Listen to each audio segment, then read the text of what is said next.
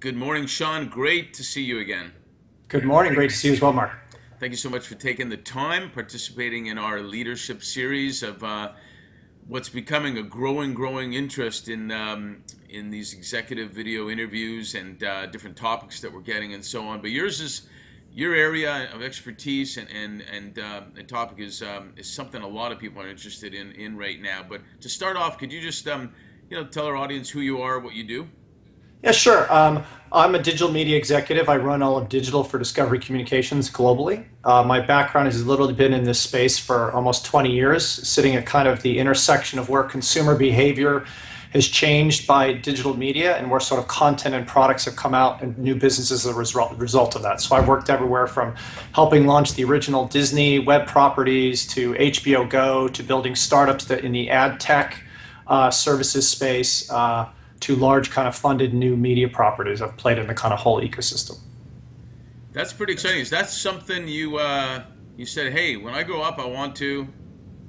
Yeah, no. I, look, my background, oddly, as a child, um, at a very young uh, age, uh, two th- amazing things happened to me simultaneously. I got my very first lead part in a play so sort of that feeds almost the kind of stereotypical creative side that you'd expect. Right. You know, the ability to connect with audiences and understand sort of what they need delivered to them. And at the same time, I got my very first computer. Uh, and started writing in programming language. So that really enabled kind of the technology and interest in sort of building products and what technology was enabling. And that literally has been my career path since then, I've always sat in that kind of right brain, left brain mix of strategic and operational, mix of creative and technology to really help either start my own entities or start entities within companies who are trying to kind of crack what the consumer behavior changes of and how it's impacting their business, whether that's a marketing issue, a distribution issue, um, an audience issue. Yeah, that's that's fascinating. Um, obviously, it relates um, to our main topic, and we'll get into some of the, the specifics related to you. But um, with all that said, how do you um, how do you define how do you define leadership? What's your perspective on what leadership really is? Yeah, for me, leadership really is about growing people, and it's really about helping them reach their goals and their full potential, no matter where that is. That a business environment, a social environment, your children, your peers? You know, it's the same way I like to be led by the leaders that I aspire to be. And my perspective is that everyone is a leader of some sort, and it's not necessarily there's a right way or a right type of leader. You could be the right type of leader for a certain situation. You could be right type of leader for a certain culture. But building your leadership is an evolving skill and then one that frankly you always need to work on if you want to improve because it's not really a static thing you don't point to somebody and say they're a perfect leader all the time right patton may have been perfect for warfare but he may not have been perfect for leading you know a university and so it's really sort of trying to figure out what the right leadership is for the right culture and at the right time yeah, that's a that's a great point. Our uh, two favorite words in our business is right fit constantly, right. and uh, I remember the uh, one professional football team, um, well, the Dolphins. I remember fans would complain one year the coach was too emotional and too involved and too everything, and then the next year the coach was not emotional enough and not involved in everything. It was, so it's like you can't you That's can't right. win in that regard. Um, um, so with respect to that, digital media, social media, the impact obviously on business has been has been huge. What's your experience on how it affects business owners, business leaders, um, decisions and actions for their business? Look, I'll sort of break that into two different areas. Digital in general um, is the constant question that I think any business you're in, when you sort of look at the competitive environment, what's happening in consumer behavior? What's happening with my competitors? What are they reacting to in the marketplace, and what do I need to do for that? Digital is impacting people because it's it's highly connecting your consumers to ways to you in in ways that you never expect to be that faster distribution, next day delivery, the ability to deliver messages on a daily basis for your consumers, even though you may be through traditional channels, all of a sudden to have direct relationships with you. It's really sort of an accelerated view that almost every way you do your business, from marketing to internal HR management to recruiting, have been impacted by sort of the speed that, and, and sort of accessibility that digital is bringing to your business.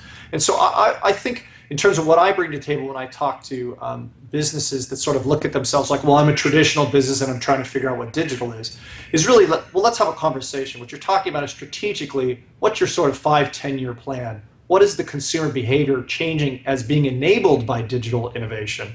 And what does that mean to you?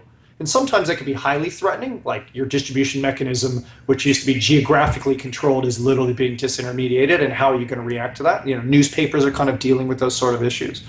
Or it can be more, to your point, uh, the second thing is more social, right? Which is having a pretty impact, big impact on businesses because you have a lot of businesses who historically may have really, you know, had to care about their customers, but never directly right? So if you're a packaged goods business, you pay a lot of attention and research to what are your consumers doing. But at the end of the day, your revenues are being more directly driven by your distribution channels. Like, what is Kroger doing for me? What is mm-hmm. Target doing for me? And so all of a sudden you get into an interesting mechanism where you move from a world where, say, customer contact may have been research driven to literally the consumers expect, particularly millennials and submillennials, to actually have an active, authentic voice and communication directly with you.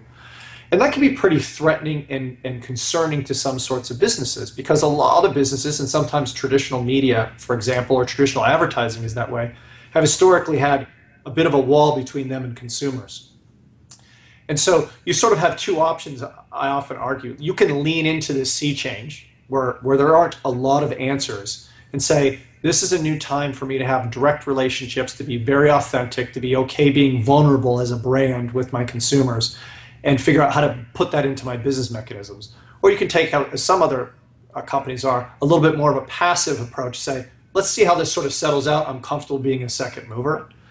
I have a tendency to encourage people, and I use this analogy from experience I had on, on a travel, that as scary as it may seem, it's just scary because you've never done it. Mm-hmm. That there are businesses that make billions of dollars that have tens of thousands of customer touch points a day and they have figured out how to indoctrinate that into their thing. And social sort of is that right? Like if you're a movie company people have been standing in lines talking about your movie and whether they like it or not for hundreds of years right? Since the since the lumiere brothers did it back in the early uh, beginning of the century. Just now it's actually public and so you can either ignore it or you can say let's participate in that and so i usually encourage that perspective um, particularly because, again, the coming generations have an expectation. You see it when you see some of the blowback you'll find on Twitter or Facebook when brands stumble. It's the brands that have been present and admit they stumbled, they survive. The brands who try and pretend that it's the old PR days where you can manage the message, that they suffer. Uh, and so I think it, it doesn't do the best to kind of lean away from it. It's interesting. It seems like it's a lot less painful not doing that suffering, as you said, and just being out there, kind of like you know, always uh, if you always tell the truth, you don't have to worry about what you told everybody, um, type of deal. And you know, words that I hear a lot from leaders that, that come into what you just said are, are authentic, transparent. And I'm, I'm, not a big keyword guy, but this type of thing, and um, listening and pivoting. Uh, and what you're talking about is, you know, listening to to how it, how is a better way, how is a new way of doing it, and then pivot towards it. So, it's it's it's fascinating what you what you talk about, and uh, you know a lot of leaders talk about it, and then there's some obviously that are that are doing it. Um, let me ask you a question on that. Um, up and coming leaders, up and coming, you know, 20s, 30s, people that are up and coming, and they're they're into tech to a great degree. Uh, How would you advise them to prepare for their careers in business to succeed in this digital media world, which they're probably obviously more in than let's say somebody more seasoned, yeah. but but it is, you know, it, it, might not be accepted right away. They might have opinions that are right on the money, but no one's listening to them. How do you right. advise them to prepare for a successful career? Uh, look, uh, I tell them the great thing about digital is you just shouldn't be intimidated because it is still like inning one of, of sort of what it's doing to industries. And so don't be intimidated because the truth is most people are sort of early in, even those of us who have been sort of in it for 15 years have everything in our sort of knowledge cycle turns over in like three to five years. Right. And so, in a world that's moving that fast, uh, just jump in because odds are you're either going to be in the cycle of evolution, right? It, it's like we had this discussion just earlier this week. There was a time, if you looked at digital, when kind of the portals, the Yahoos, and the MSN and the Excite at homes were coming up, and you thought, oh my God, the world is going to be controlled by these people. But we've gone through three iterations so far subsequent to that time with new players coming out. And, and, and understanding that the, the industry as a whole, I would say, is very accepting of new information because we all know we're like, uh, I don't know. Right. As I tell people sometimes when we talk about some of the business areas that we work in, one of the quotes that uh, my team hears me say a lot the one thing I can tell you I know about this area is that I don't know. right? right? and when you when so the opportunity for uh, people to get into that is that also the amount of information that's available because it is digital is like infinite, and so the gap to at least get dangerous, you know, become like a six out of a scale of one to ten is actually doable completely on your own, and the ability to sort of round yourself out in the disciplines, which digital really requires multiple disciplines. Like, hey, I want to learn a little bit about coding. I want to learn a little bit about SEO. I want to learn a little bit about design. I want to learn about product. I want to understand, you know, social marketing. All accessible information, whether you go to Codecademy, whether you get into a, a networking thing. And so because of that, it's much it can be more intimidating because the level of access you get versus say like if I decided I'd really like to get into mining, which has basically been the same for, you know, decades. Mm-hmm. Uh, I probably need to go move to West Virginia, meet some miners. It was like a very different experience versus if you're like, I'd like to learn about, you know, how to run a social network. You can do it from your desk, and uh, there's a lot of people who will like reach out and help you. Well, I will tell you, I recently have been talking to a lot of Australians, and they've been talking mining to me like crazy because they sell it to China. so it's interesting here. Not, not, a bad place to be, a, a high resource intense continent uh, near a uh, resource needy uh, economy. Yeah, Doesn't pretty, uh, pretty, pretty good stuff. Um, hey, you've worked in, in startups, large organizations. Two, two points on that. What's the what have you seen have been the advantages and benefits to working in each, but also with respect to again, preparing to be on, on boards, there's obviously different type of leaders that are appropriate for the boards of a startup to to a large organization. So, what's your overall thoughts on all that?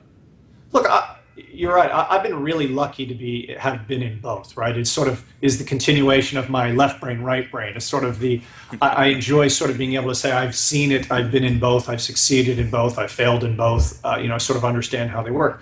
Look, at the end of the day, I would argue that there isn't much of a difference when innovating new ideas, new products, and new companies between a start like the process of like I believe there's an opportunity, validate the feasibility, see you know find a product market fit the sort of overarching thesis of what you have to accomplish is the same. What is different is sort of is generally sort of culture and speed issues. At a startup, there is no lack of focus and alignment, right? You have I'm running out of capital. There's a small group of you. It's easy to manage a culture when there's somewhere between you know five to 25 of you, um, and you can move much faster and much more iterative. Right. On the kind of entrepreneur side of it, often it can be much more about managing the culture as an not only you have to do the first thing, but you have to add the culture thing. So I've often argued that it's it's harder.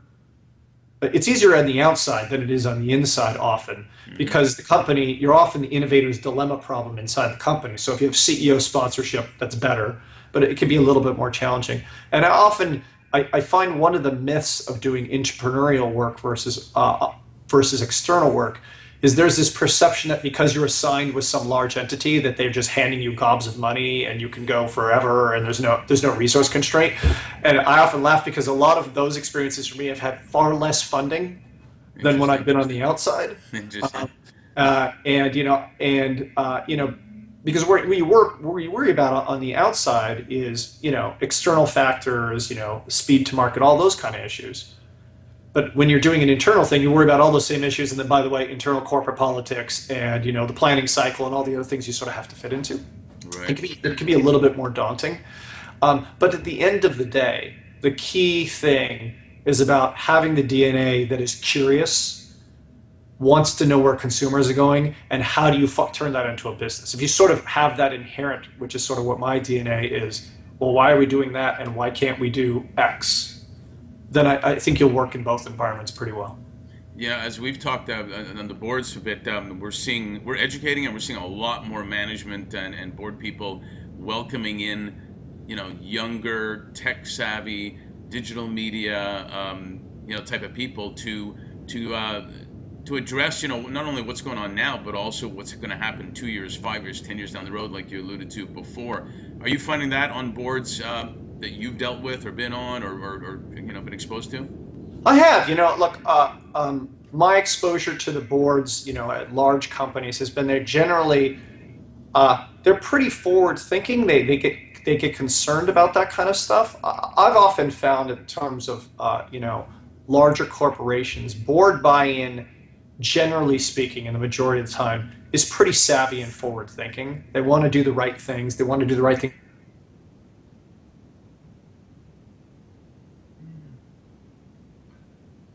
Some point, and have the self awareness that sort of you know that success can come from anywhere. And I've always found that great. I think you know in a pure startup boards, it is much more tactical and much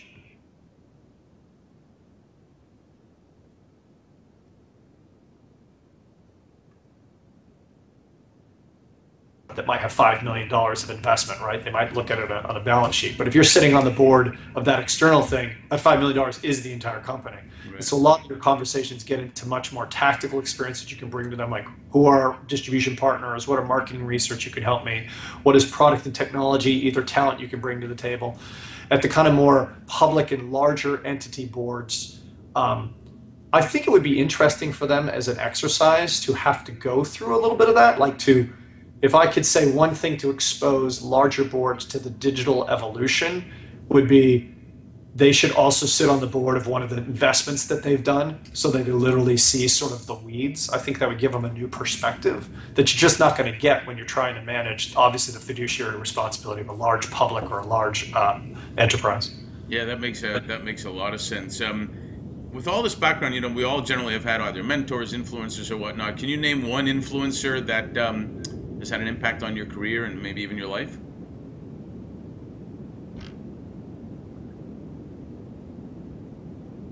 They've taught me my insatiable curiosity, and the combination my mom and dad is that strategic and operational part of my brain. They are those two people, and I am the hybrid of them. I think on in terms of my work, once sort of I got sent into the world by my parents, it's been the great mentors, and I've been very lucky to start and end with them. You know, from Frank Sinton at Disney, who gave me my very first big break, looked at me this young kid who kept writing these kind of Jerry Maguire-esque decks about things he thought this company should do, and said. I'm going to give that guy a break because he's driving me crazy.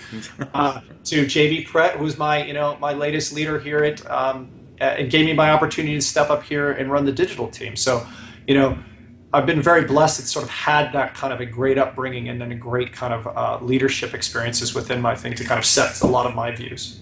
Yeah, that, that's awesome. Uh, but now, now we're into kind of the one to two word answer type of questions. Get a little to know you a little bit. But do you have a leader you most have admired, past or present, that you'd quote unquote love to have dinner with? Yeah, um, I love Reed Hastings, the CEO of Netflix. I think uh, not only is he sort of dis- disintermediated a business, but he's had some pretty public hiccups that he's been able to recover and sort of to the authenticity point own. Right. Uh, and I love the fact that he's really, you know, to what drives me, brought together sort of the consumer trends and the technology and data to kind of take things to another level. It really kind of speaks to my id. Uh, and then another one, uh, Jeff Weiner, who's the CEO of LinkedIn. We actually started our careers together. He's a friend of mine, but he's he's someone who's multivariate, multi-hyphen, great operational understanding, can be very understanding of the culture that needs to get done, very visionary, and just a, just an all-around great guy. I'd say those are pretty good choices. Um, so um, these are truly one-word answers now. Um, do you have a favorite sport? College football. Go Trojans. All right. Um, how about favorite movie or TV show?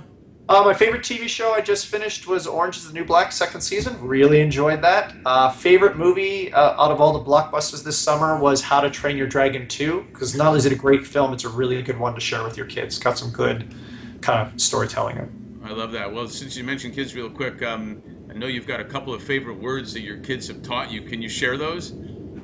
Um, yeah, my son really likes large words. So, um, uh, we've been singing a Sesame Street song that turned the alphabet into one word, which is Absideftajikamanok Christuvixes. Uh, that came from Big Bird. And then my son's favorite word, which is the longest word ever in print, as he tells me, is pneumono ultramicroscopic silico volcanoconiosis. And he nice. can spell it, which makes me laugh even more. And to think I'm still stuck on supercalifragilisticexpialidocious. nice job. Well, that was, that's the word I whipped out. He was like, no, I got a longer one. Do you have a um, favorite music? Uh, you know, I actually uh, love all types of music. My wife is on a huge country kick right now. Um, and my son and I, oddly, have gotten into classical um, because we've been reading a productivity study of that's the best to kind of do homework to. So we've been testing a lot of different uh, classical uh, together. I, I, I used to find classical great for homework, actually. Um, how about favorite type of food? Indian food, bar none. Could eat it all day long. Check out the movie A Hundred A Hundred Feet Journey. Oh, it's good. It was awesome. I'd love to see it. Yeah, awesome. Uh, hey, listen, thank you so much for the time. It's uh, it's actually been fantastic and fascinating. Really appreciate it, and uh, I'm sure we'll see you soon. Thanks for having me. I really appreciate it, Mark.